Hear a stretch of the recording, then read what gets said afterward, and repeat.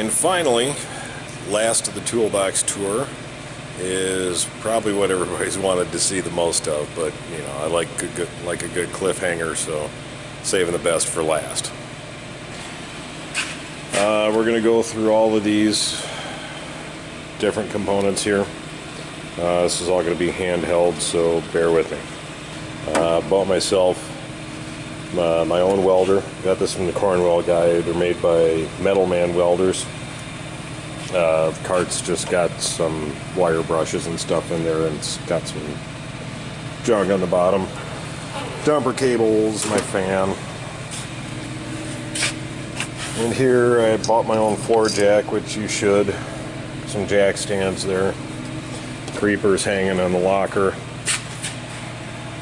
You know that guy. The locker, uh, it's an used Mac locker, which was still kind of pricey. Uh, got a welding hood, the dark tinted shield for using the torch, uh, foldable funnels, some gloves. Uh, this is a Fowler Noga copy. I have one of those at home. And there's just random stuff in here.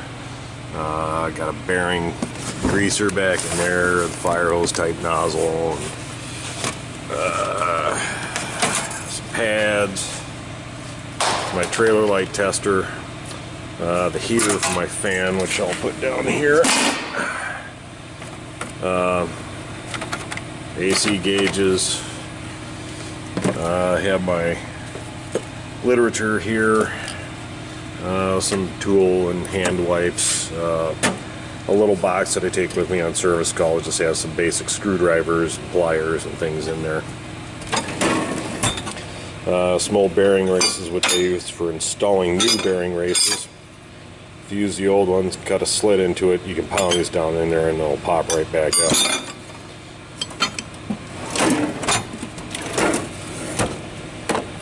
Shop light which I use on uh, jobs that I'm going to be on for a long time.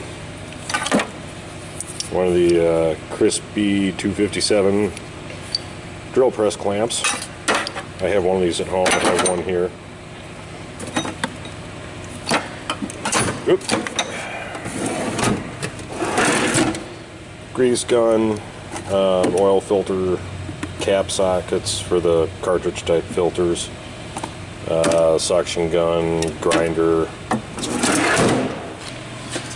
The snap-on chest here, I have all my axle nut sockets, uh, just other random stuff, adapters, you know, crank nut sockets, more axle nut sockets, the specialty kind of stuff. Little machinist jack that I made. In here, random stuff, uh, pickle fork kit, uh, a flywheel holder for the Duramax diesels, homemade uh, Detroit diesel engine positioning tool, anything else interesting, door spring compressor, uh, more junk, this is kind of where I keep the accessories for my grinders a uh, shop made seal installer, you know, welder tips and extra silicone, micrometer, knife sharpener, toolmaker's vise that I made, and let's see, combination square, infrared thermometer, some scales, Oh, this is a, uh, a homemade uh, hollow line tap for uh, like AC line fittings. The parts drawer, everybody's got one of them. Hot glue gun, old input shaft for uh, doing clutches, a couple of containers of extra O-rings, soldering iron, engraver. In the cart, uh, I've got screwdrivers, and this cart is what I use on every single job. This goes with me wherever I go in the shop. Uh, some cheap drill bits, uh, pry bars, got some uh, type pry bars down there, an indexable pry bar, use that a lot. Uh, pliers, adjustable wrench, vice grips, electrical uh, terminal stuff.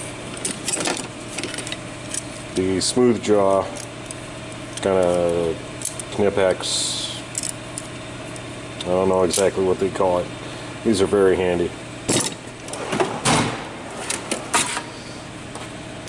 Got a sparker in here, tape measure, trailer light tester, utility knife, carbide tip scraper, blowgun, some brake tools, battery terminal cleaner.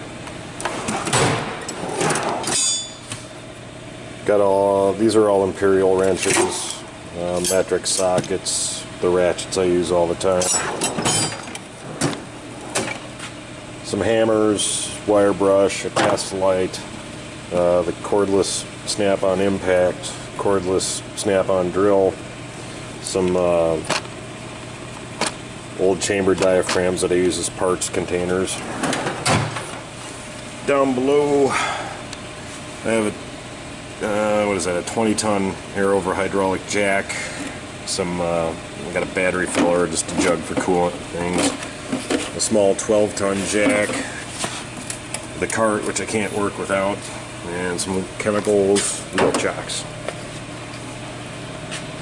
And getting into the big box. This is a Matco 6S, pretty much top of the line. Got a hell of a deal on it because nobody wanted it. I don't know why they didn't like the color combo.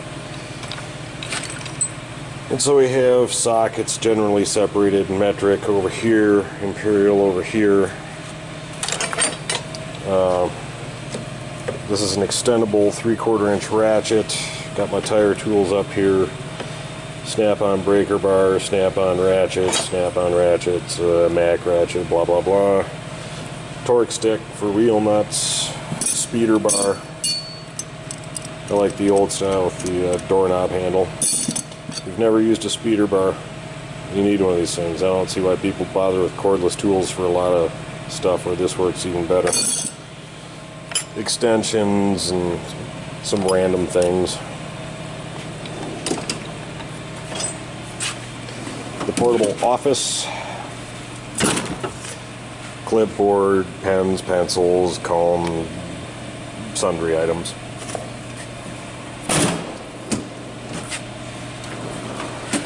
Uh, what I've dubbed my electrical test drawer, I have my multimeter. Uh, there's a OBD2 scan tool in here that's for cars, battery tester, uh, various electrical leads, Got some uh, plastic cap plugs for knobs. An old light that I've used as a test light. It's great when you need to clip this onto something far away and you need to see it.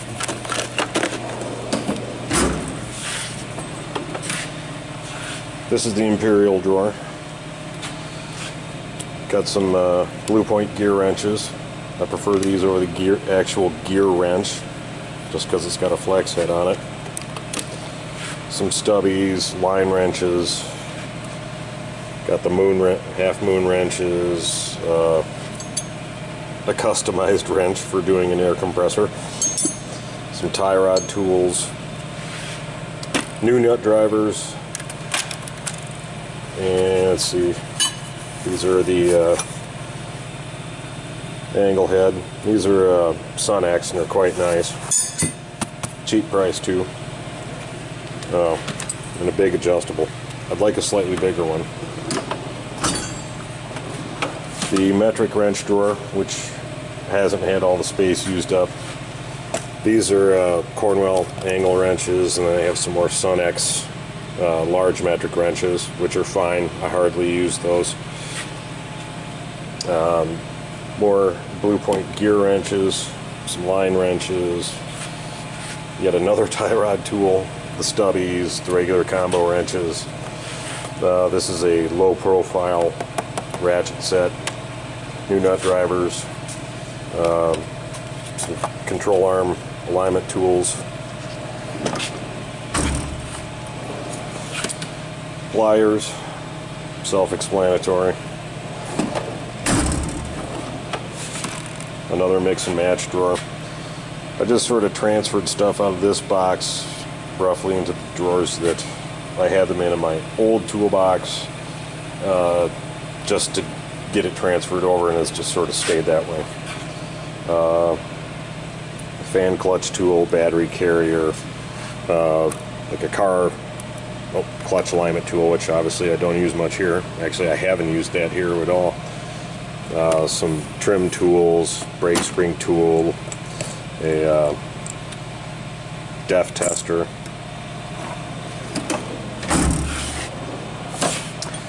Uh, boxes.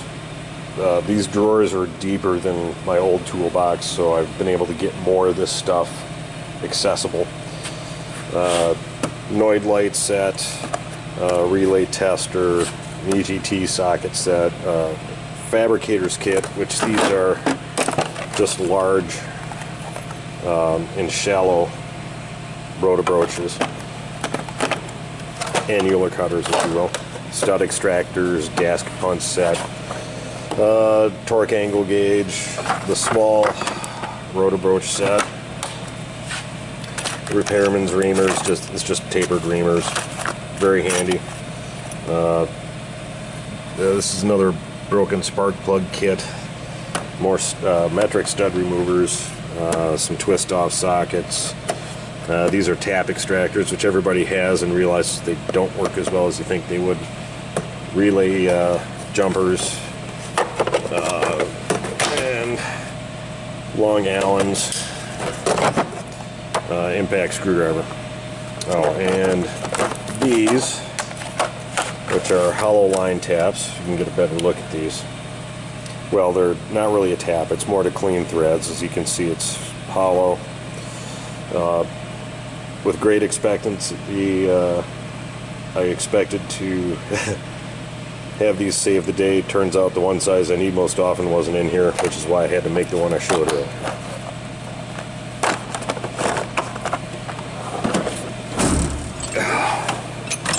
Hammers, chisels, air hammer chisels, the question mark toolbar, which works great on pulling seals, uh, a big alignment bar, which comes in handy, hacksaw, brass hammer, the small hammer, needle scale, you saw that, air hammer.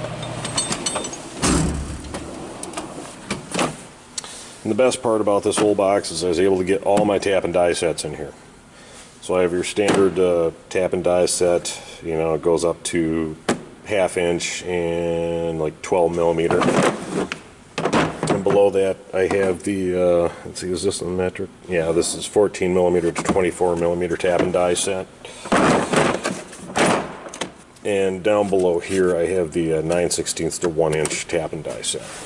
Uh, thread restoring dies, quarter inch drive torque wrench, uh, a 3 8 torque wrench, but this is the dial type. Uh, a dirt cheap dial indicator, or uh, dial calipers. Very gritty. Bit set. A uh, generic puller. The little driver for the bits. Snap on. This is specifically a crank puller, but it comes it's short and it's stout. It comes in handy for many, many things. Got my 3 8 torque wrench, my half inch drive torque wrench, both snap on.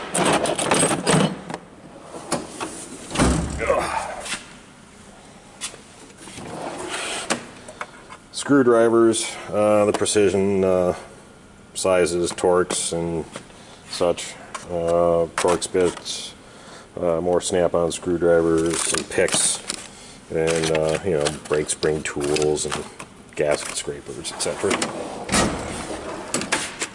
Uh, punches, files, uh, smaller files, punches and chisels.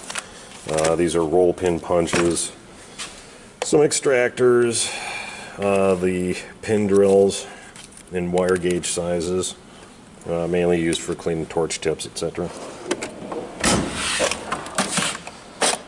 steering, uh, power steering pulley, an alternator pulley, puller and installer kit, the good drill bits, left-handed bits and extractors, number punches, uh, wire, uh, electrical terminal tools, uh, seal and race installer kit, which I really don't use that much here, but I do have some use occasionally.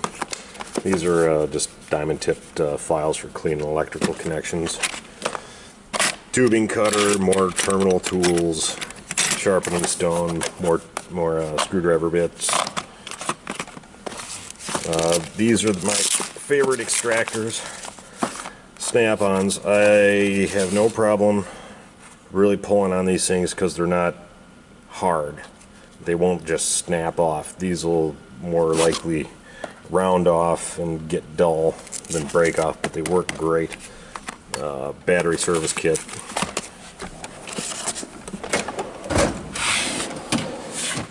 Uh, here is a lot of stuff. I'm not going to pull it all out. We got some.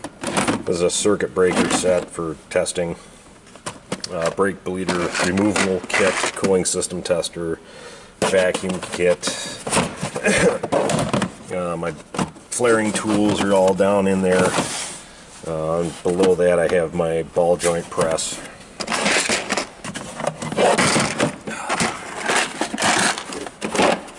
A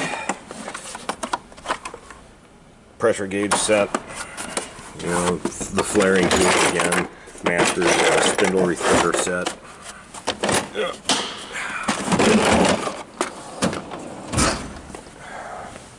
Down a two drawer. Well, yeah, two drawers.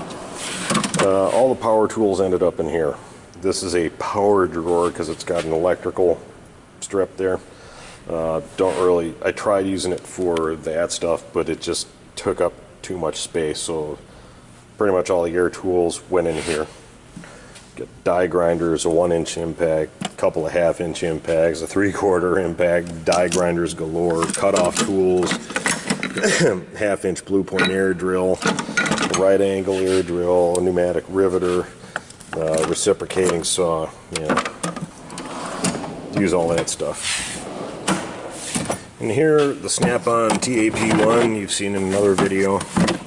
Uh, steering wheel and crankshaft uh, or harmonic balancer puller, which this gets used for steering wheel.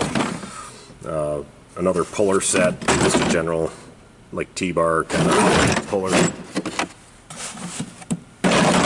Couple of big C clamps. Uh, this is my heavy duty scan tool. It's a it's a Bosch. I just got that. Um, tire remote tire inflator thing, a power probe, and dial indicator. I've also got uh, a U-joint press down in there. Not too exciting.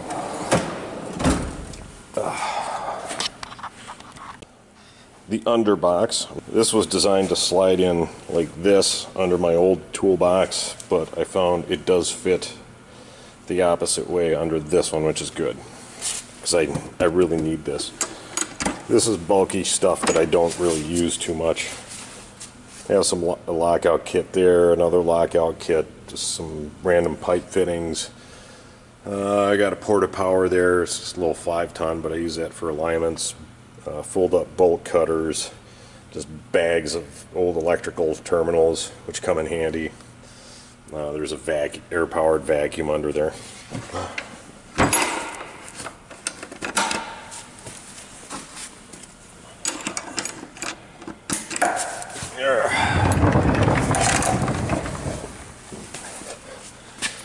Uh, got my own battery charger because sometimes the uh, shop ones get beat up or they're being used, so I just have this. Uh, I got a fold up step here, which is very nice. My own ladder. All right, that's it for the, uh, the, the main toolbox tour and all the crap that I got in it, and my cart and everything else. So I hope you enjoyed that. I hope it was worth uh, waiting for. Thanks for watching. We'll see you next time.